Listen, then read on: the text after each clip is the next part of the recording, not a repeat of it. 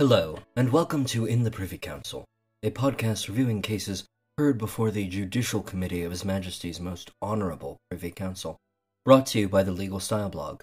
I'm your host, Elijah Granite. This week, we're discussing the Bahamian case of Attorney General and Rolle, the citation for which is 2023 UKPC 13, comma, BA. This is a very important case in constitutional interpretation, with very real consequences for those involved. It turns on a simple question Is the child of a non Bahamian mother and an unmarried Bahamian father a citizen of the Commonwealth of the Bahamas? Let's start with the Constitution. Article 6 provides that every person born in the Bahamas after 9th July 1973 shall become a citizen of the Bahamas at the date of his birth if, at that date, either of his parents is a citizen of the Bahamas.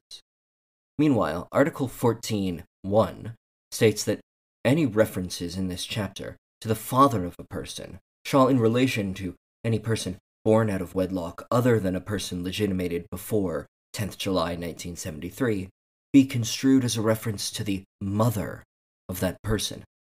The discrepancy between these two provisions, one of which uses parents and the other, which uses a specialized definition, is at the heart of this case.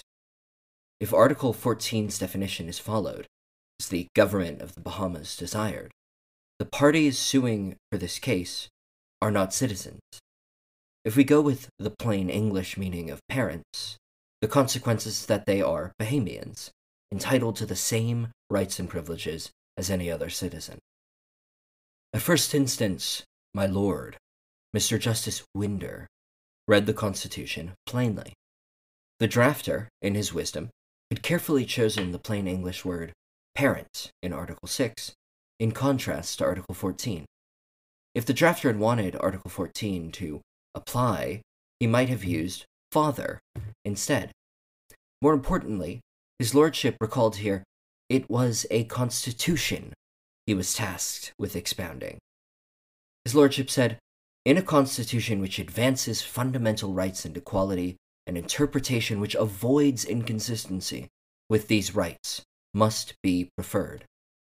The government, by advancing a restrictive reading that would limit the rights of the children of unmarried persons, was going against the very spirit of the Constitution.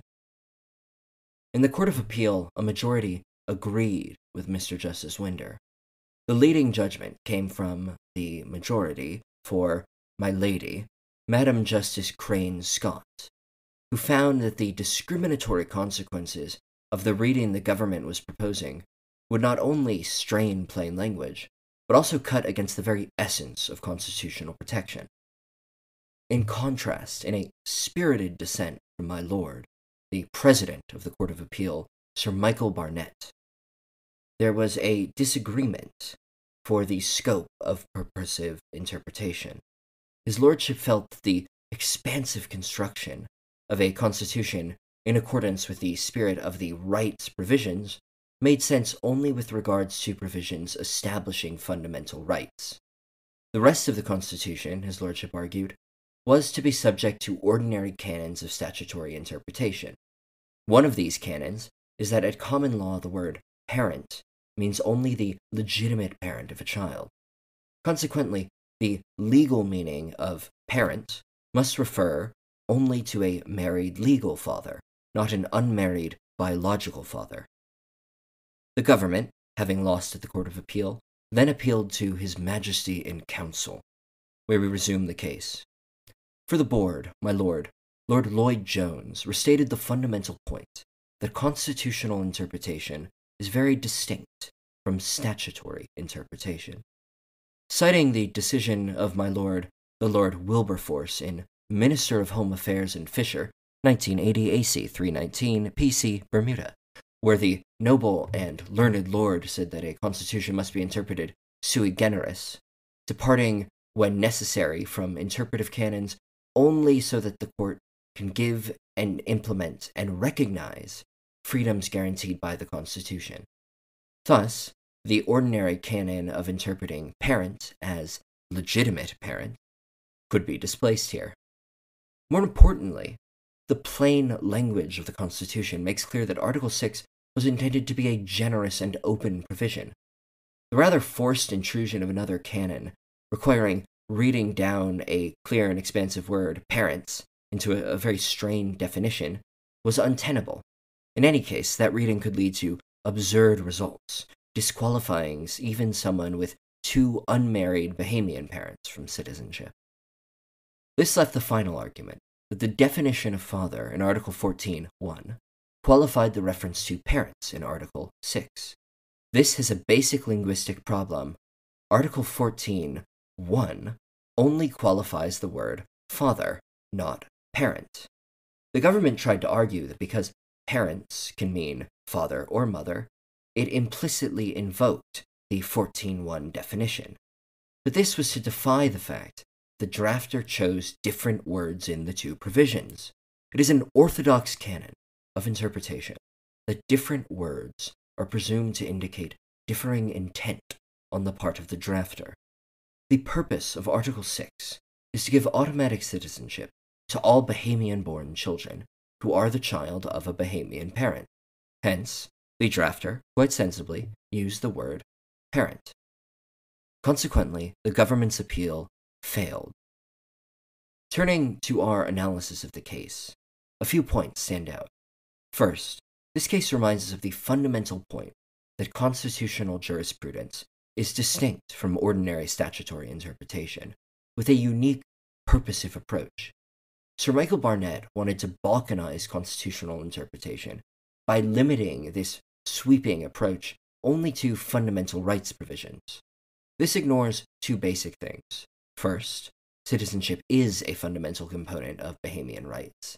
And second, there are no unimportant portions of a constitution which can be disregarded as constitutional and treated as ordinary. The instrument as a whole, and in each part, must be construed to give effect to the goal of the Constitution a liberal, democratic constitutional monarchy governed by law.